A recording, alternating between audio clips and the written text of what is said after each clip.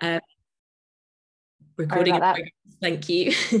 We are recording this event so that we can share it with anyone who signed up who wasn't able to attend. So if you um, if you don't want to appear on the recording you can um, hide your camera.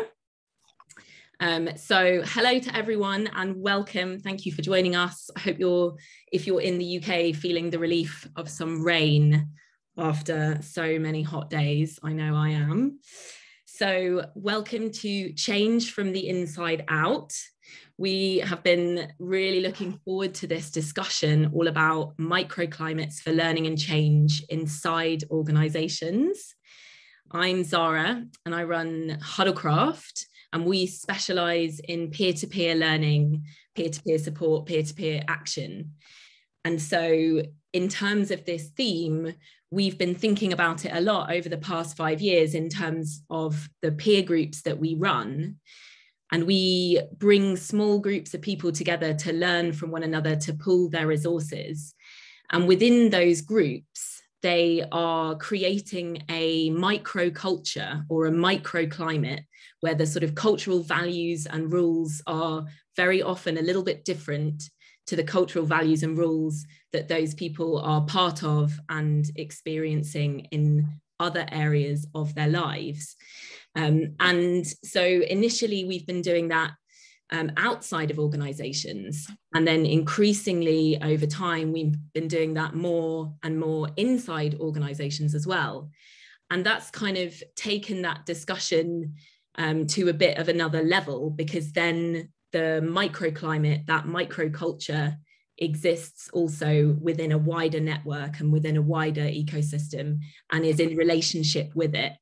Um, and then other interesting questions arise um, about how the impact of that microculture can actually ripple out beyond that space um, into the wider organization. And so that is really what we're here to um, talk about today with our speakers. Um, and so you, you might be arriving not having thought about this particular metaphor of microclimates before. You might normally be thinking about culture or learning programs or learning and development or peer groups or teams. Um, but hopefully there will be some value and some juice in this discussion for you. And I wanted to give just a couple of examples of microclimates um, to get us going um, in this theme before we hear from our speakers. So I'm really briefly going to share my screen with you. So let's have a look here. And Let's make it big so you can see it. Um, so the first example of a microclimate that I wanted to share is this example of waffle gardens. And this is a, a low-tech in indigenous um, design practice from Mexico, from the Zuni people. Um, and this is a form of community gardening that is traditionally led by women and children. And I think this is a really interesting example of how a microclimate can create a really different environment to the surrounding environment through very, very small changes.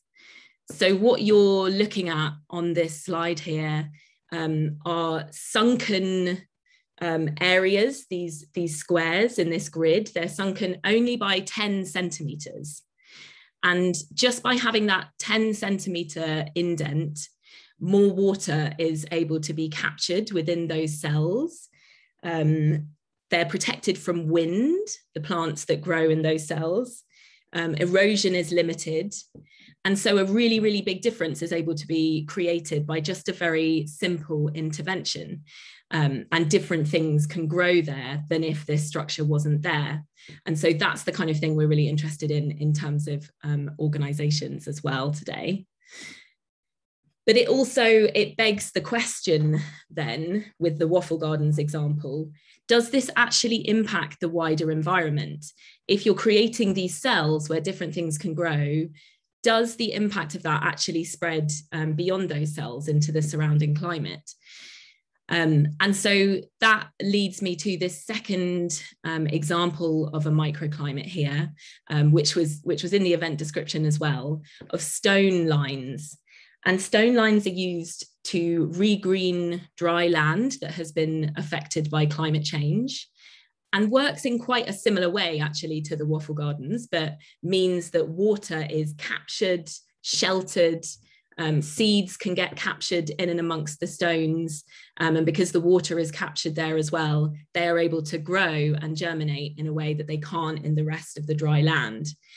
And the purpose of stone lines is very much to um, change what's possible at the edge so that that green area can grow and get larger and larger and larger and then um, ultimately um, change the land, regreen the land around it. So, what we're going to do today is be thinking about this kind of thing, um, but in terms of social and relational constructs, so within organizations. And we're going to hear from four speakers first, and then we're going to have a discussion as well. So, whilst we hear from them, if you want to put questions and things like that in the chat, please do. Please feel free. We'll try and circle back to a couple of those questions um, at the end of our discussion. And I think we will start with Joanna, if you're ready. Um, and I will time, I will keep my microphone on and I will time five minutes. So you should hear um, a five minute warning and then you can um, wrap up at that point. Brilliant. Thank you, Zahra. Hello, everyone. Really good to meet you. And thank you, Zahra, for inviting me. Such an interesting theme for this event. Um, so I'm Joanna Choukeir and I'm Director of Design and Innovation at the RSA. For some of you who um, don't know the RSA, we're a social change organization with a global network of 30,000 change makers, enabling people, place and planet to flourish. And our vision is for a world where everyone can fulfill their potential to shape a resilient, rebalanced, and regenerative world. And um, the shorthand for that is our Design for Life vision and mission, which we have recently launched in May. Um, so, my role at the RSA is to champion how best and next design and innovation practice and thinking can contribute to and accelerate this vision and mission. So my connection to the to the theme is huge. I was uh, talking about that briefly before um, I joined uh, this call. Um, we, as I mentioned, we recently launched our Design for Life mission with Andy Haldane joining as chief exec in April of this year. Um, in the Design for Life mission, we acknowledge that our world as it is and our current systems as they are are failing. Um, they are fragile, they're unbalanced, and they're extractive. Um, we have often looked at a lot of the issues and challenges and crises that we've been experiencing as separate um, and disconnected, um, you know, everything across sort of the economy, social society and the ecology. And we need to totally shift our focus to recognizing the interdependence between our social and environmental and economic challenges and fundamentally seeing the system as nested. So our economy there to serve wider society and our ecology for our social outcomes to to serve um, the, you know, the people, communities, but also to, to, to, care for and look after our wider ecological system. So if you sort of imagine that sort of three systems nested within each other. Um, so in order to totally shift, um, move towards that para, para, uh, paradigm shift, we know that incremental change is not going to be enough. We need transformative change. We can't tweak our current failing systems where we treat every issue as separate from the other we need to totally reimagine a future where we draw on, recognize this independence and lean into that and look at the, the impact of our, our activity, of our work, of everything that we're, we're innovating around across all of these different layers of the system. Um, so as Albert Einstein puts it, we can't solve the problems um, of today with the same kinds of thinking that created them. So for me, microclimates within organizations and then the ripple effects into the wider systems are about sort of these ways of thinking or what we have started describing at the RSA as design for life perspectives. And the reason we talk about perspectives and not principles is because we want to leave room for plurality and ad adaptability as opposed to sort of a checklist of you have to do these five things and then you've got the microclimate that you need for any kind of change.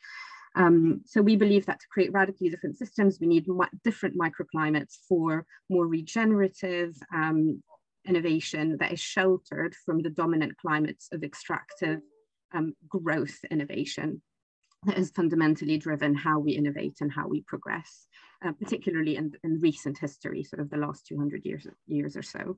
Um, so we've drawn on a couple of examples um, of work, learnings from a couple of examples of work um, that has helped us shape these sort of design for life um, perspectives.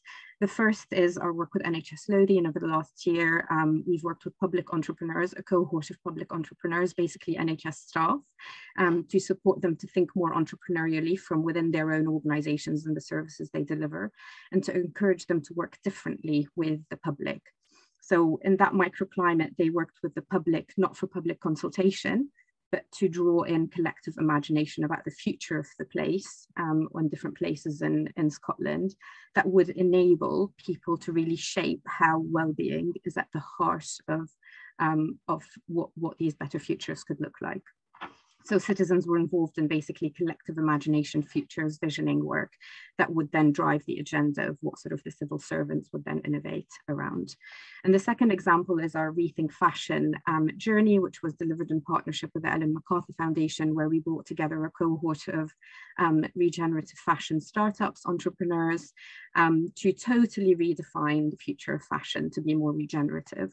So some of the shifts that we supported as part of that microclimate for the cohort is the shift from competition to cooperation um, and to recognizing that we need diverse actors in the system. Um, so rather than sort of fashion startups thinking about one another as competitors of, you know, what's the next best thing? How can I demonstrate that I have a unique selling point? They're thinking about how, how can we together create a coalition that can collectively support us to, to transform the system and how can we work in partnership with the incumbents like the H&Ms and you know some of the fashion brands and fashion giants to transform how they approach um, fashion innovation and, and, and fashion fashion business models. Um, so there's a few more I could draw on including the Economic Security Impact Accelerator that actually Huddlecraft was involved in and some of our work with Cities of Learning. I can see my colleague Janvi on the call but broadly, what we have done is draw from these some of these learnings around these kind of microclimates that we've, these sort of safe spaces that we've created to try and think very radically and, and very differently about the future to propose these six perspectives, design for life perspectives. So the first is systemic, so recognizing that our systems are nested and interconnected, as I mentioned earlier. Imaginative, that we need to really lean into our capacity to imagine as humans, um, to really think about radically different alternatives for the future. To be adaptive, so moving away from this sort of, oh, there's, there's you know, one final solution, or we can ever, ever get to sort of a, a finite solution, what we need to do is work in adaptive ways, similar to nature, lots of feedback loops, and then move and tweak and, and find our way forward. Collective, so drawing on collective wisdom and the diversity of different voices, um, including the beyond the human. So what can we learn from nature around how we actually innovate and move forward? Embracing long-term thinking, um, so moving beyond the sort of myopic uh, paradigms of the now in terms of how policy is shaped, how funding is distributed, um, how regulation works, how you know incentive models work.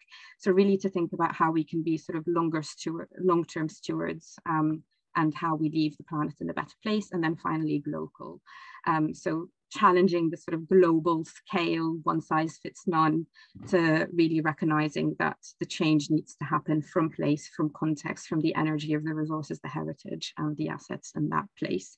So in terms of rippling impact, um, we've sort of articulating these perspectives has been really helpful for us. And we're now embedding these in all of our work and the work that we do with our fellows, but we'll continue to adapt them and recognize that these are constantly, these should be constantly evolving. Um, but yeah, I think I'll leave it. I'll leave it at that, Zahra. I don't know if I'm to time or beyond time. a little bit over, but all good, all very interesting. And yeah, I feel like that's such a, a great place to start because um, you've got that idea of really, really transformative, large scale change that's needed. And then you've got um, the theme of this event today, which is about microclimates and the power of smaller groups and smaller clusters. And I think that's such an interesting um, question here is sort of the connection between the small um, and the large and how they can interact. Thanks, Joe. Okay, so moving on to Collin, if you're ready. Yeah, ready to go. Um, before I go into I mean, uh, I think it was really brilliant what Joanne, what you just said, and it's and it's fascinating to hear talking about things at such a large scale, societal level change. Um, and I'm going to bring our conversation to something that's much uh, smaller. But yeah, like I said, you said lots of brilliant things. But one of the things you said that just really jumped at, at me is one size fits none. I, I, I am writing that down because I think it's such a powerful way of, of rethinking about the way we come up with, with standardization and, and, and answers. Anyway, I'll introduce myself. I'm Collin Lyons. I am the delivery and transformation director um, at UsTwo. UsTwo is a product, uh, digital product studio. We do client work. We build apps and websites for our clients. Um, and I've been here for about nine years. And basically, in my responsibility is to do two main things. One is make sure that when we take on our client work, we deliver on our expectations. So that's the delivery component of my, my responsibility. But then it's also the transformation, which is um, helping our clients move in a path that allows them to be able to take the work that we've done and carry it forward. Um, it's interesting to, to think about the, the challenge that we have as us to, to create these products because the client will come to us usually because either they don't have the capacity or they don't have the capability or sometimes both and they want uh, to create something that's going to be innovative for them. So they'll come to us for that. But one of the things that we found over time is that we create these products, but then once it was relinquished back to the client, they didn't have an environment in which to let those products live. And a lot of people come to us to uh, come because they want to change. They want things in the world that they've designed and created and built. So we realized that one of the things that we had to add to our offering was supporting our clients so that our products didn't go back into their environment to die, which is what was happening often. So that's kind of uh, the connection that I feel to this discussion because if a client doesn't have the environment to nurture and continue to support a digital product, then you know we have a job to do to help them figure out how to make that change. And prior to coming to UsTwo, I spent most of my career supporting uh, client, supporting environments and organizations becoming more digital, whatever that means in, in various contexts. And so um, this was, you know, one of the things that I've been looking at and seeing lots of times in history where it just never seemed to make any progress, and other times it seemed it did, and like, what was the difference? Uh, an example I just want to share, which I think would just kind of put more specificity in what I'm talking about, is we worked with three um, some years ago, and that was a long-standing relationship with a woman that had worked at Harvey Nichols first, and then she went to three, and so on. And she came to us when she went to three because of the work we did with her at Harvey Nichols, because she saw a new way of working. And she said, What I saw there, I want to bring wherever I go. So she contacted us when she was at three, and we basically set up what I didn't know was a language for microclimate, but we set up this kind of a bubble in which um, we could do what we wanted. Like we, we didn't, we could kind of in, insulate ourselves from the rest of the organization and do things in a way that was uh, quicker and more effective and all the things that we want to get as outcomes. And in that context, the strategy was don't try to convince anybody outside the organization of anything.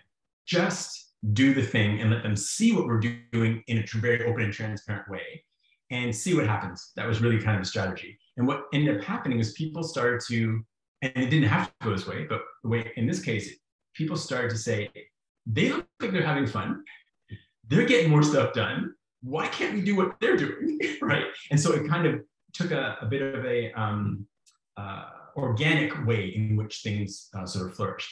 Um, and just, you know, I don't want to take up all the time, but my, my, my closing thought here is one of the things I've learned through uh, my experience in trying to help organizations change the way they operate is a the thing we're talking about. The language sounds like it's the things that they're doing, but the truth is, it's the way that they're thinking and the way, and it's the mindset thing that makes all the difference. And because of that, what I've noticed is that, at least notice is probably too strong a word. What I've decided to hold as a philosophy is my intention isn't to change an organization. My intention is to change an individual or change individuals. I think sort of the idea of organizational transformation is too big a mountain and it fails often. And that what I find happens more often is that you have people who get transformed through that process, just like this client we had at three. And now she's transformed. Everywhere she goes, she wants to work this way.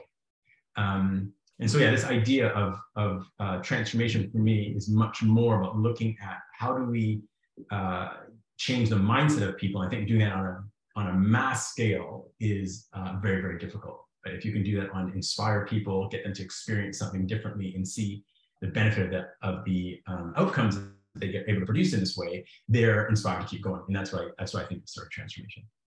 That's me. Wonderful. That was literally as the buzzer went off. top marks for timing.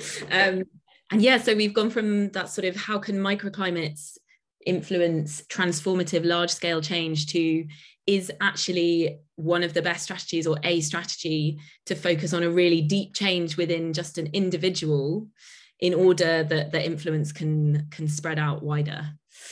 Interesting stuff. Okay and so Jolana moving over to you if you're ready now as well. Yes thank you. Can you all hear me?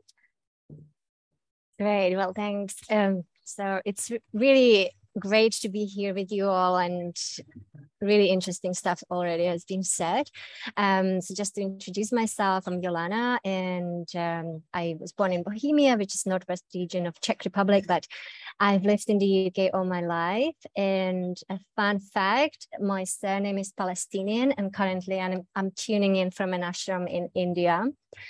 Uh, and so back in 2017, I joined the League of Intrapreneurs, and I was absolutely in awe of what our co-founders, Maggie De Pree and Florencia Estrada were doing with a group of, a quite small group of change makers, intrapreneurs, and catalysts of change.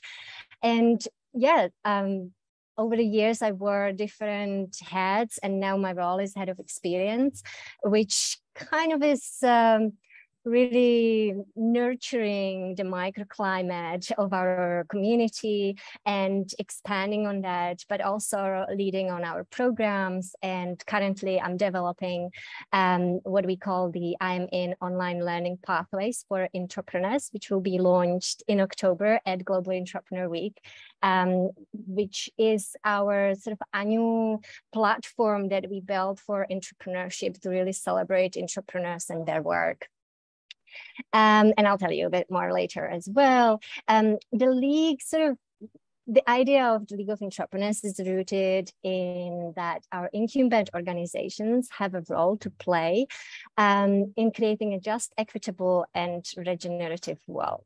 So a little bit, I would say from a little bit from Joanna's perspective and a little bit from Collin's perspective, because we believe that intrapreneurs within these organizations are innovators on the inside who are harnessing the assets of these organizations for positive systems change. So really looking at the people who work inside these organizations as human beings, so uh, quite to what Collin was saying, and sort of bringing change from that perspective um, in a sense where we inspire each other to align our purpose and our values with those of the organization and hopefully that way um, really bringing on change.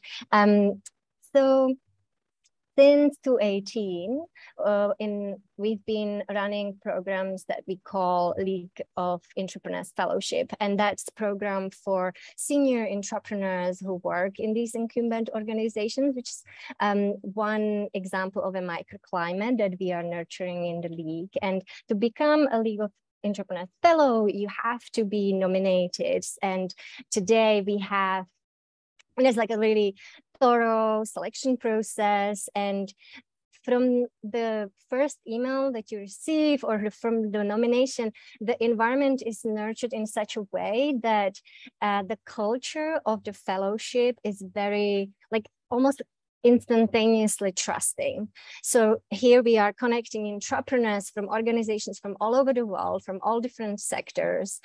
And without perhaps even first meeting before, they already are on a level where they can openly share their challenges as intrapreneurs and what they are working on and support each others as peers. Um, but we realized that to really bring change in our lifetime, we have to open up and really inspire I'd say the whole workforce of employees to become intrapreneurs. So that is what the I'm in learning, online learning pathways for intrapreneurs is about. It's about really educating employees and sort of inspiring employees from all levels to, yeah, to want to change things, whatever the change might be. It might be change that is just, I don't know, changing a product that the organization is using for their coffees or um, bringing on a project that will really change change the face of the business that, that they work in for. And uh, so um, just to close, I would like to all invite you because if you're interested more into intrapreneurship and in intrapreneurial culture, we are holding the Global Intrapreneur Week, which is really all about intrapreneurship. And this year we have uh, a theme uh, that's all about courage. What is the next step? Is moment for courage? What are the next steps? What are the conversations we need to be having so that we really can um, inspire change and reach the 2030 Sustainable Development Goals? So it will be 10 to 14 October it's uh, online and also offline. So for those who are in London, on the 17th of October, we'll be at Salesforce Tower, and I'll drop a link below if you're interested to join us. Um, yeah, thank you so much for the time. I hope I didn't go over.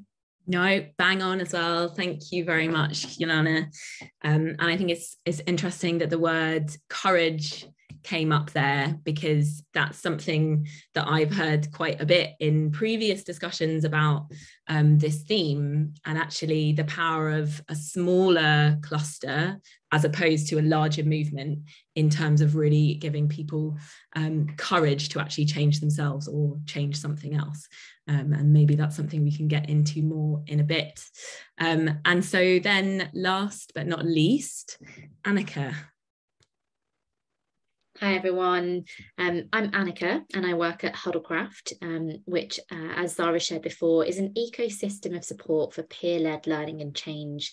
Because at Huddlecraft, we believe that the story of the 21st century is and, and will continue to be about the steepest learning curves collective learning curves that we've we've ever faced in history.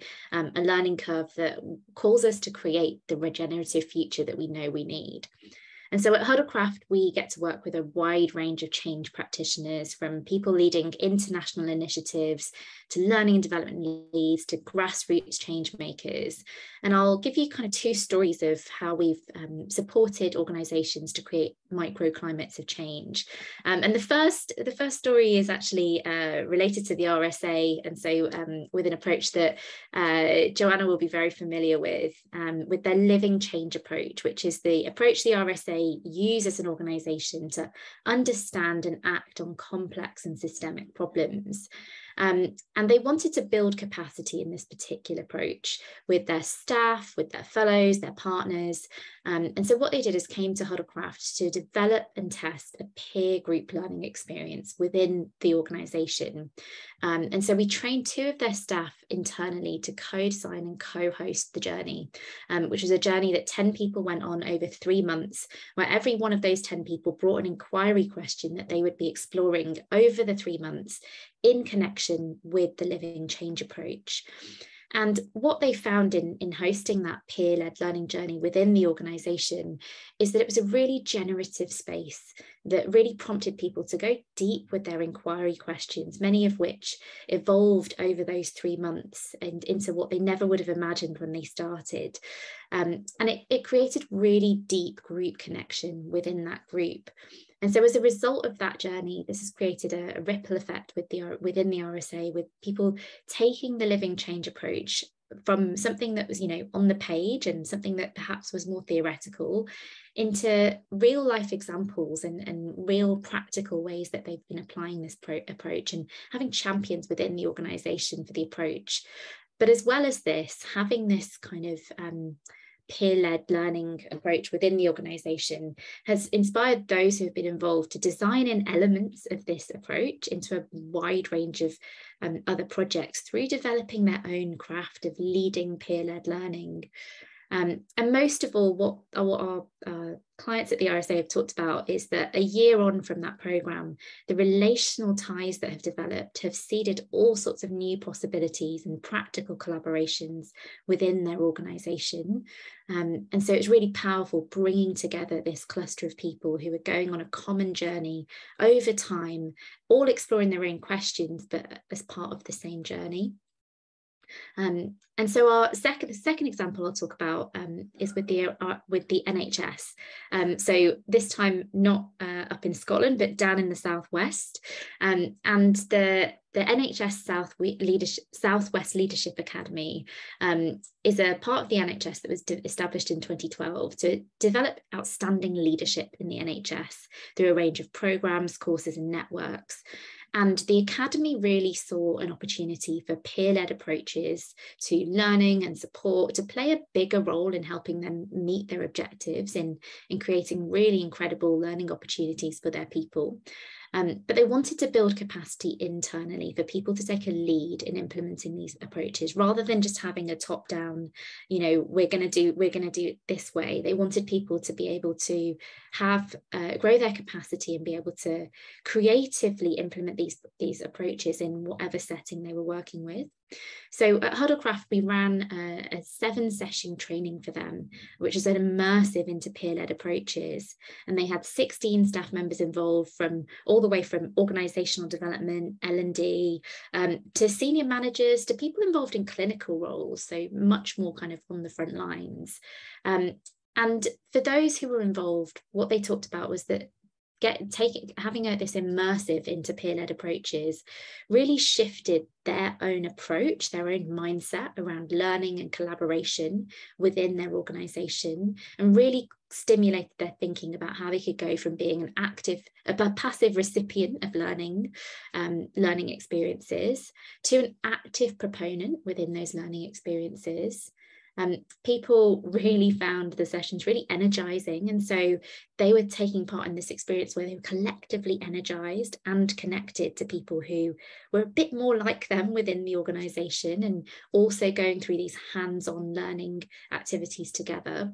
Um, and people walked away with practical, pragmatic tools that they could apply straight away rather than it being something that they needed to have you know spend another three months developing. They they had spent some time designing within those sessions and beginning to design using the structures that we had brought to them um, to to really kind of mean that they were they were starting not from scratch when they went back to their own settings but they were starting with an existing structure to help them test out new ideas um, and from that multiple people were aiming to use it as a starting point to influence and change culture within their teams, their wider directorates in a really sustainable way, being able to build on the tools, the structure, the energy, um, and the connection they got from doing the training. Um, and so, yeah, really exciting to see those two projects kind of come to life within those organizations um, and to really um, recognize that what we were doing is supporting people to be a, a microclimate themselves, but also supporting them to build microclimates within their organizations and within the different departments and, and parts of the organization they were part of. Um, and so what we think is that peer learning within organizations can be a really powerful way to create a microclimate for change. Um, and for any organizations, if you're in an organization, you're like, I want, I want some of that where I am. Um, we are actually open at the moment for applications for our host fellowship for organizations where you would learn these, these peer-led practices and be supported to create a peer learning group within your organization. So please do chat to anyone from Huddlecraft um, about that if it's something that you're interested in. Um, but we're really excited about this um, as, a, as a way of really seeding a really different way of being and experiencing and learning together. Wonderful. Thanks, Anneka. Okay, and so I feel like Anneka's sort of segued me into what I'm going to ask um, first um, by by talking about how with the NHS work, people were then going back into their own teams, their own departments, their own regions, um, and how can they take um, the culture from that microclimate and take it back to their to their own region, to their own context. And so with that in mind, what is actually needed then for the benefits created within a microclimate to nurture the environments around them? And I should say that this is a question that Jolana has um, has posed to the rest of the speakers. And, and what I've done ahead of the event is gather some questions from everyone for one another. Um, and hopefully we'll also have time to take some from the chat as well in a bit. So yeah, who would like to jump in first? What is needed for the impact to spread beyond the microclimate?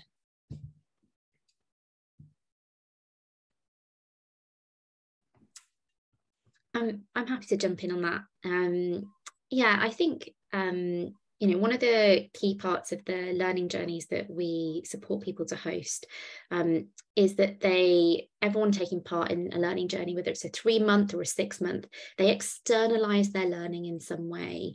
Um, and we really encourage people to make something or to create something that really shares what they're learning with the wider group with the wider world. Um, and so um, towards the the end of our our learning journeys um, we we off, we encourage people to do something called a showcase.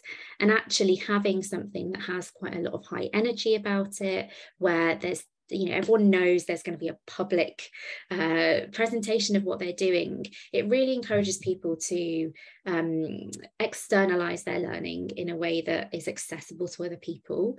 Um, and i think that is a really powerful way of rippling out um, within organizations what a microclimate has been doing and learning and exploring um, within their own within their, within their own setting.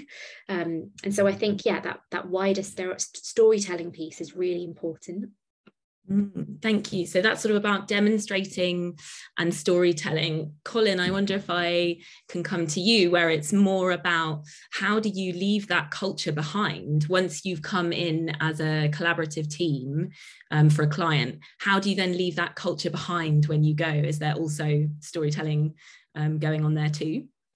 There is. And I, I, guess the word that I would use that um, takes the same sort of uh, positioning that Anneka talked about is uh, transparency. So, you know, our way of working, we work with our clients is being really open about what we're doing as we're doing it, showing work in progress and so on. And, and this idea of a showcase fits quite nicely with how we, at the end of every two weeks, we're demonstrating progress that we've made.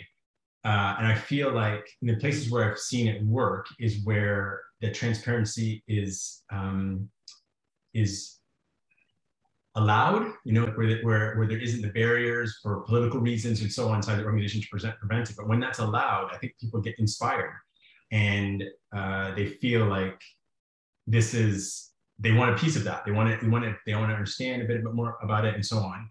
And I think also we can't ignore that the whole purpose of all the change we're talking about is for improvement. So I think when people start to see results from a different way of approaching things, that can also be inspiring it can also be threatening for other groups, uh, but in, in some in, in places where I, I, feel like it's I've seen it be most effective is when positive results are visible and the way we got there was visible and that there is a, an openness to want to change. Mm. I feel like that brings up resistance as well. And I'm curious, um, Joe or Jolana, when you've come up against resistance to this kind of rippling out um, of the benefits and maybe what you've done in order to overcome that resistance or how you've pivoted. Mm, I'm happy to comment on that actually. Um, I think it's, um, I think actually, you know, Collin and Anneka have sort of talked about showcase and sort of showing the value. Um, I think there's also value in experiencing, inviting people to experience what it feels like to be within that microclimate. And there's sort of small examples of the conditions that we've created in these microclimates that we could transfer to the dominant climate to try and create that open invitation in. I think when we talk about, you know, and your question around resistance, I think we often look at resistance as a negative thing, right? You know, we've, oh, there's so much resistance, there's so much internal change, um, change fatigue. If if there isn't resistance, if there isn't tension, if there isn't friction, then, then we're not changing anything. And so I see, I look at these points of tension as and points of friction as there's there's a dial that's shifting and people are coming on the journey. And so looking at these points of resistance as moments of opportunity to engage in a very, very different conversation and to really speak to that conflict directly rather than try and avoid it or avert it is really important. And some of the helpful questions um, that I guess have supported us at the RSA, because a lot of what we're describing here, what I mentioned earlier in sort of my, my five minute presentation was, um, were things that we've learned through some of the living change work we've done with, with yourselves and also on the Regenerative Futures program. So what has been the pivot of these microclimates then becoming at the heart of the whole organizational mission, not sort of a couple of programs that were running, you know, running um, in sort of the fringe of the organization. And actually, some of these broader questions around what are we all valuing here? Maybe actually the starting points are very different in, ter in terms of what we're trying to achieve. So I think questions like, why are we doing this? Why are we doing it this way? What are we hoping to achieve? Are we, you know, are we valuing productivity, efficiency, equity? You know, what, what are we prioritizing in terms of the, the long-term change that we want to see? And then from that, what kind of climates do we need to create that enable that? Do we first align on what, what we're trying to, the change we're trying to see? And then from there, what kind of climates could be more enabling and supportive of that? Mm. So rather than the how, focus on the why. Yeah, and and so Jolana, when when we think about the League of Intrapreneurs, you must have people who come into your programs, into your microclimate and identify, just like Joe was just saying, um, things that they want to prioritize, things that they want to value, things that they want to take back into their large organizations. Um, and they must then count, encounter uh, moments of opportunity or resistance when when they get there. Um, and i'm curious about how you support them to make that resistance an opportunity rather than just um, a roadblock as well. Yeah thank you. Um, well we often speak about or well one of our values is being human. And so humanness and bringing humanness to work I, I I think that's um, something that can really flip um, failure around. So when we are resist, uh, meeting with resistance or meeting with uh, walls that don't allow us to go through, uh, we often speak about pathfinding.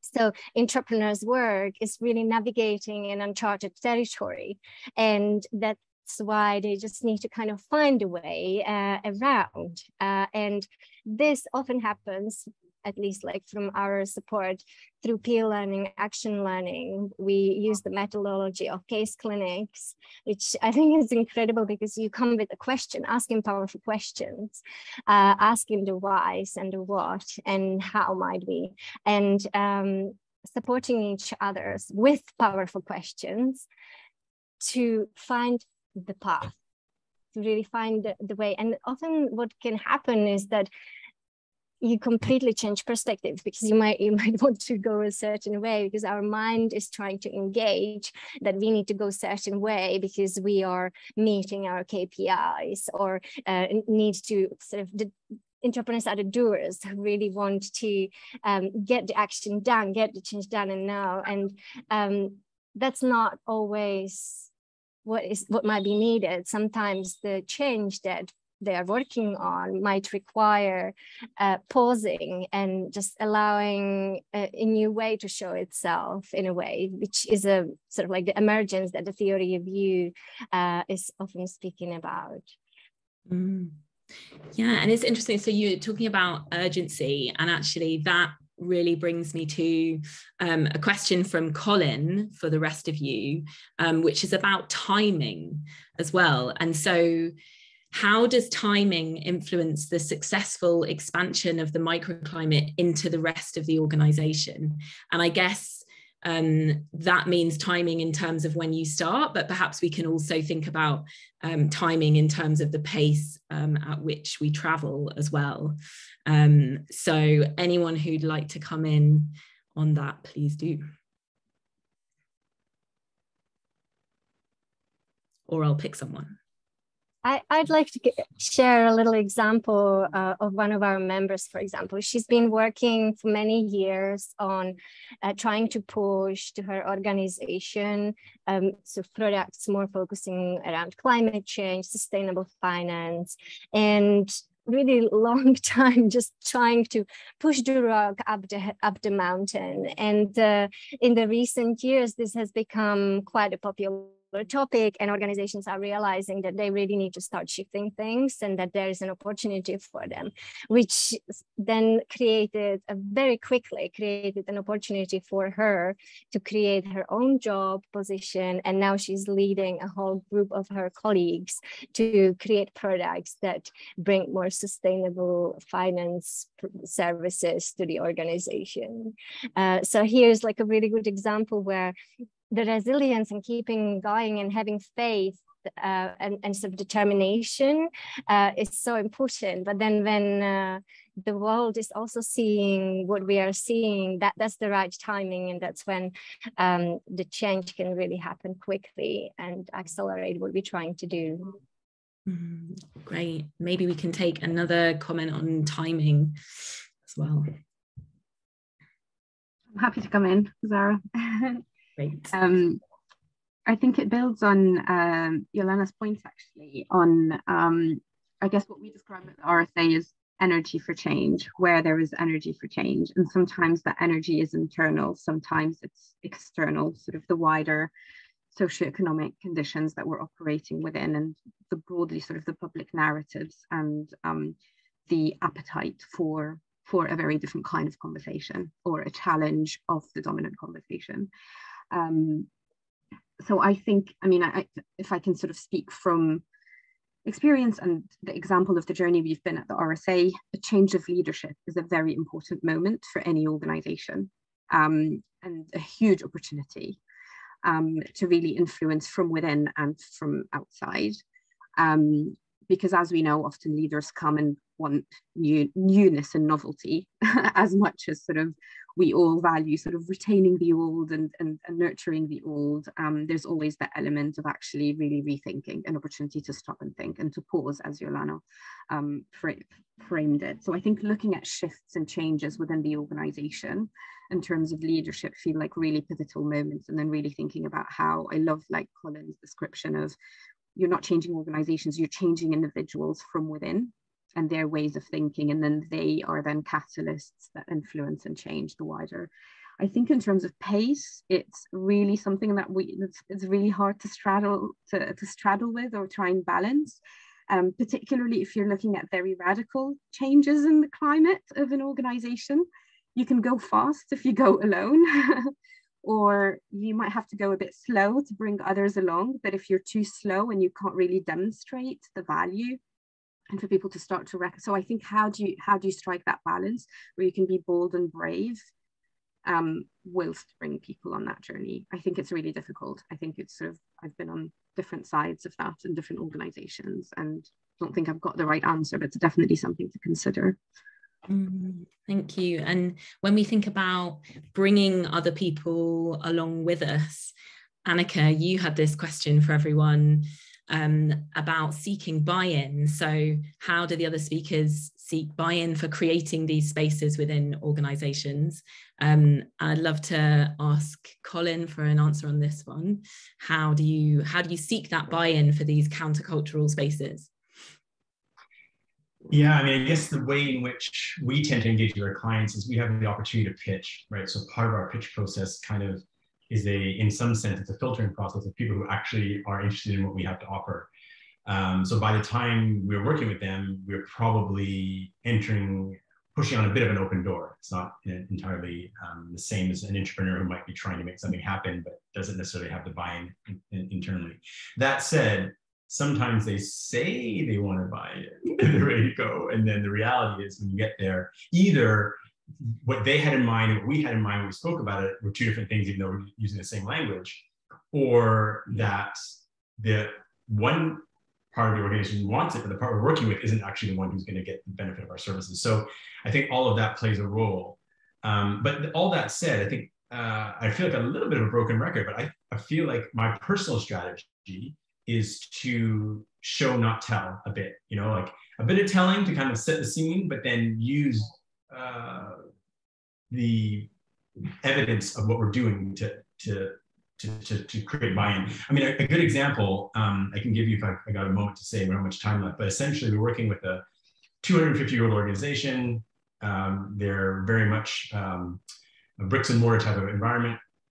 and they needed to, they, one of the challenges was getting things changed on the website faster. So they hired us, and the guy who said to me, when he hired me, head of marketing, he said, do not try to transform us. I'm not interested in transformation.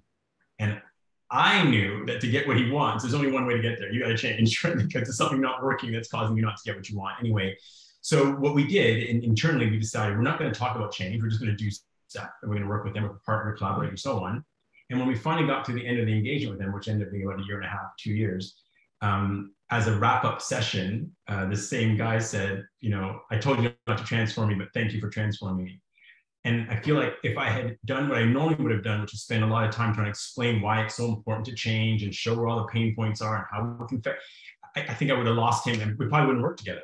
Whereas by just deciding, let's just do what we do and hope that that demonstrates why the change is necessary, that we would get there. So I think that's sometimes we don't have the luxury of that. But I think if we do have luxury of that, I think that's a, a one strategy that can that can work to get people mm-hmm.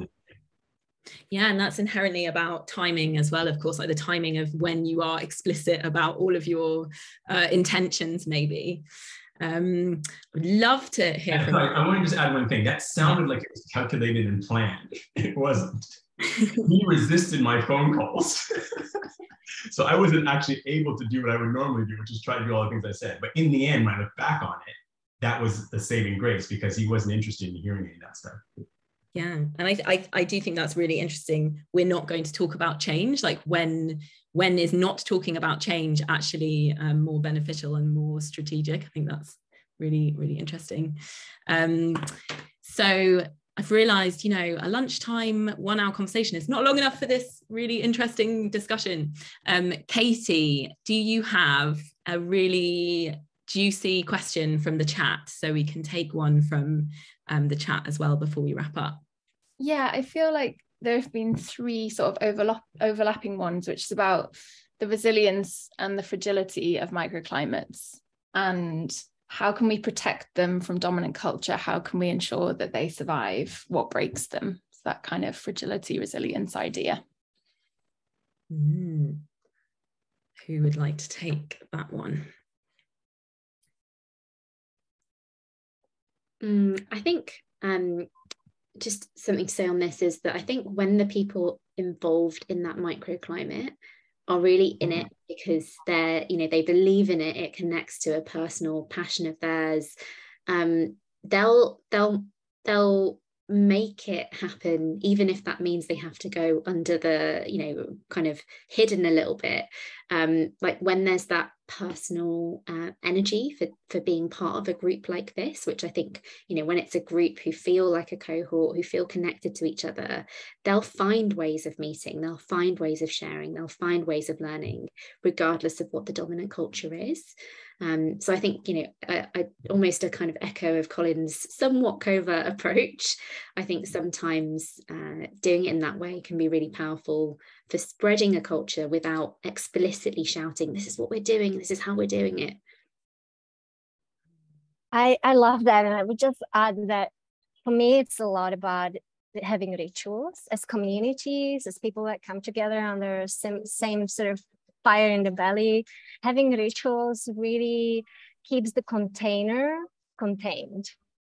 And it, that way it protects it from whatever the outside is uh, going through. And on a flip side, it can also sort of ripple out from that.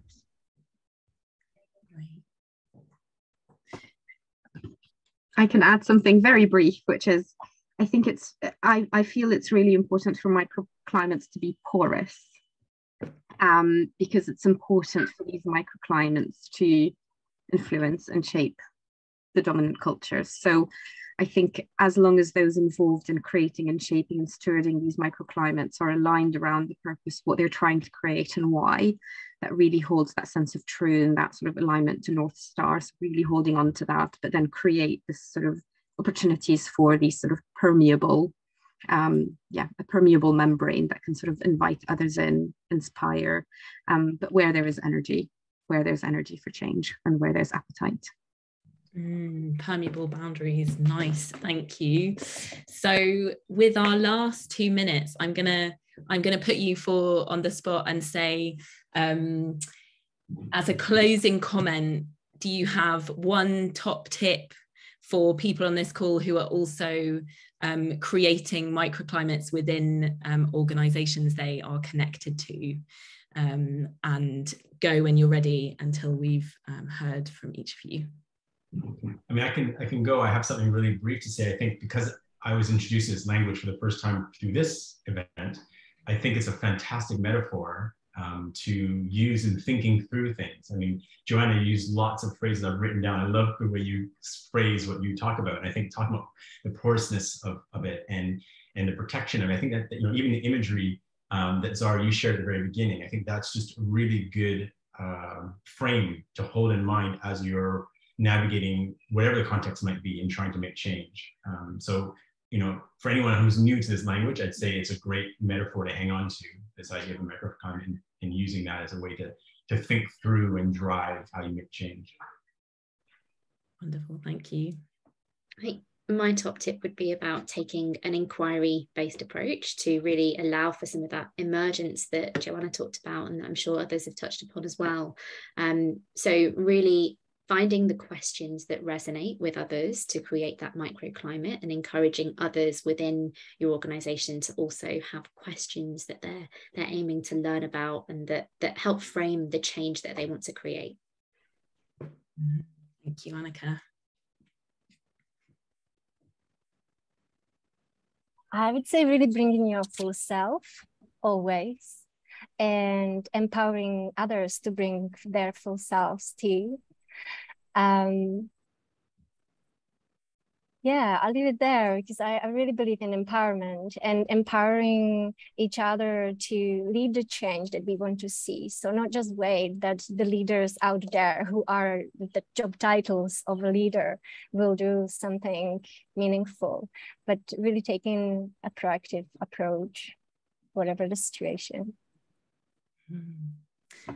And last but not least, so I would say um, question value and what we are valuing um, when we're approaching any sort of change, organizational change, um, social change. Um, what are the things that we are valuing and what are the things that we are valuing more or less of and why and ensure that we have um, a good and aligned starting point before doing any of this work um, and then take that as the lead to the kind of microclimates we want to be building. Okay, so we are already one minute over. So I'm going to really quickly say thank you so much to everyone for coming and thank you um, to you for, for speaking and for being part of this discussion. I feel like there's a lot more um, we can talk about. And I know there's a lot of questions in the chat. So in some form, I'm going to commit to um, bringing something back to all of you who've who've turned up in response to those questions, and we'll also share the recording. Um, so yeah, thank you very much, and have a really good afternoon. Enjoy the rain, and see you soon. all right.